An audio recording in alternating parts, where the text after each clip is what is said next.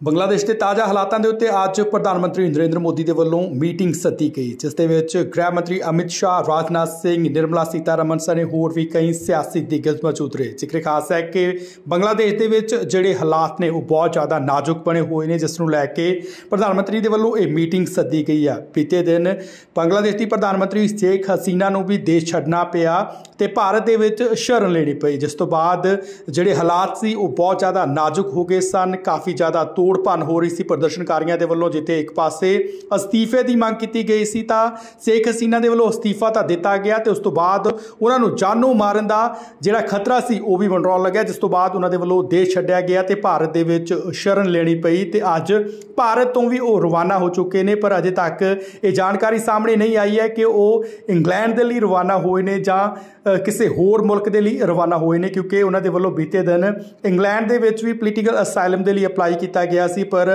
ਮੌਕਾ ਸਾਹਮਣੇ ਹੋਏ ਪਹਿਲਾਂ ਉਹ ਭਾਰਤ ਦੇ ਵਿੱਚ ਸ਼ਰਨ ਲੈਂਦੇ ਨੇ ਤੇ ਅੱਜ ਉਹਨਾਂ ਦਾ ਜਹਾਜ਼ ਭਾਰਤ ਤੋਂ ਵੀ ਰਵਾਨਾ ਹੋ ਚੁੱਕਾ ਹੈ। ਹਾਲਾਂਕਿ ਅਜੇ ਨਹੀਂ ਪਤਾ ਲੱਗਾ ਕਿ ਉਹ ਕਿਹੜੇ ਦੇਸ਼ ਲਈ ਜਾਣਗੇ, ਕਿੱਥੇ ਜਾ ਕੇ ਉਹਨਾਂ ਦੇ ਵੱਲੋਂ ਸਿਆਸੀ ਸ਼ਰਨ ਲਈ ਜਾਵੇਗੀ, ਉਸ ਤੋਂ ਬਾਅਦ ਅੱਗੇ ਦੀ ਰਣਨੀਤੀ ਹੋਵੇਗੀ। ਪਰੰਤੂ ਭਾਰਤ ਦੇ ਵਿੱਚ ਪ੍ਰਧਾਨ ਮੰਤਰੀ ਨਰਿੰਦਰ ਮੋਦੀ ਦੇ ਵੱਲੋਂ ਮੀਟਿੰਗ ਸੱਦੀ ਗਈ ਹੈ, ਕਿਉਂਕਿ ਜਿਸ ਤਰ੍ਹਾਂ ਬੰਗਲਾਦੇਸ਼ ਦੇ ਇਸ ਸਮੇਂ ਹਾਲਾਤ ਬਣੇ ਹੋਏ ਨੇ, ਉਹਨਾਂ ਨੂੰ ਮੁੱਖ ਰੱਖਦਿਆਂ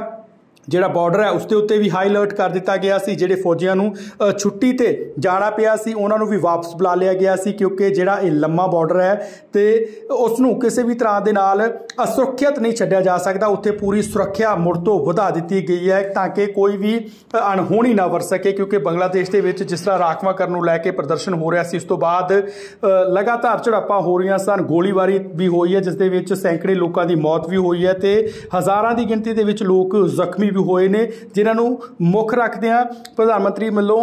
ਅੱਜ ਮੀਟਿੰਗ ਸੱਦੀ ਗਈ ਤੇ ਉਸ ਤੋਂ ਬਾਅਦ ਸਾਰੀ ਚਰਚਾ ਕੀਤੀ ਗਈ ਕਿ ਆਉਣ ਵਾਲੇ ਦਿਨਾਂ ਦੇ ਵਿੱਚ ਕਿਸ ਤਰੀਕੇ ਦੀ ਰਣਨੀਤੀ ਬਣਾਈ ਜਾਣੀ ਚਾਹੀਦੀ ਹੈ, ਕਿਉਂਕਿ ਇੱਕ ਪਾਸੇ ਜਿਸ ਤਰ੍ਹਾਂ ਦੇਸ਼ ਦੇ ਹਾਲਾਤ ਨੇ ਜੋ ਬਹੁਤ ਜ਼ਿਆਦਾ ਨਾਜ਼ੁਕ ਨੇ, ਉਸ ਦੇ ਉੱਤੇ ਵੀ ਚਰਚਾ ਹੋਈ ਹੈ ਤੇ ਦੂਜੇ ਪਾਸੇ ਇਸ ਗੱਲ ਦੇ ਉੱਤੇ ਵੀ ਚਰਚਾ ਹੋਈ ਹੈ ਕਿ ਜਿਸ ਤਰ੍ਹਾਂ ਬੰਗਲਾਦੇਸ਼ ਦਾ ਹਾਲ ਇਸ ਸਮੇਂ ਨਜ਼ਰ ਆ ਰਿਹਾ, ਉਸ ਦੇ ਪਿੱਛੇ ਕੋਈ ਵੱਡੀ ਤਾਕਤਾਂ ਤਾਂ ਨਹੀਂ, ਕੋਈ ਵਿਦੇਸ਼ੀ ਤਾਕਤਾਂ ਤਾਂ ਨਹੀਂ, ਜਿਨ੍ਹਾਂ ਦੇ ਵੱਲੋਂ ਇਹ ਮਾਹੌਲ ਖਰਾਬ ਕਰਨ ਦੀ ਕੋਸ਼ਿਸ਼ ਕੀਤੀ ਜਾ ਰਹੀ ਹੈ ਤੇ ਉਹਨਾਂ ਦੇ ਰਾਹੀਂ ਕਿਤੇ ਭਾਰਤ ਦੀ ਸਰਹੱਦ ਦੇ ਉੱਤੇ ਵੀ ਕੋਈ ਅਜਿਹਾ ਤਣਾਅ ਨਾ ਪੈਦਾ ਹੋ ਸਕੇ, ਜਿਸ ਨੂੰ ਮੁੱਖ ਰੱਖਦਿਆਂ ਪ੍ਰਧਾਨ ਮੰਤਰੀ ਦੇ ਵੱਲੋਂ ਅੱਜ ਇਸ ਮੀਟਿੰਗ ਦੇ ਵਿੱਚ ਚਰਚਾ ਕੀਤੀ ਗਈ ਹੈ। ਹਾਲਾਂਕਿ ਇਸ ਮੀਟਿੰਗ ਦੇ ਚਰਚਾ ਦੇ ਜਿਹੜੇ ਮਿੰਟਸ ਨੇ, ਉਹ ਆਣੇ ਅਜੇ ਬਾਕੀ ਨੇ। ਉਸ ਤੋਂ ਬਾਅਦ ਹੀ ਸਾਰਾ ਕੁਝ ਪਤਾ ਲੱਗੇਗਾ ਕਿ ਕਿਹੜੇ-ਕਿਹੜੇ ਫੈਸਲੇ ਵੀ ਲਏ ਗਏ ਨੇ ਜਾਂ ਕਿਹੜੇ-ਕਿਹੜੇ ਸਿਆਸੀ ਪੈਂਤੜੇ ਅਪਣਾਏ ਜਾਣਗੇ ਆਉਣ ਵਾਲੇ ਦਿਨਾਂ ਦੇ ਵਿੱਚ। ਪਰ ਇਸ ਸਮੇਂ ਜੋ ਹਾਲਾਤ ਨੇ ਬੰਗਲਾਦੇਸ਼ ਦੇ, ਉਹ ਬਹੁਤ ਜ਼ਿਆਦਾ ਨਾਜ਼ੁਕ ਬਣੇ ਹੋਏ ਨੇ।